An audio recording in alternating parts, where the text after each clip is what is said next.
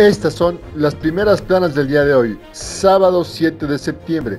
Zona franca, sin vacunas contra sarampión, se corre riesgo de un rebrote terrible. Infectólogo.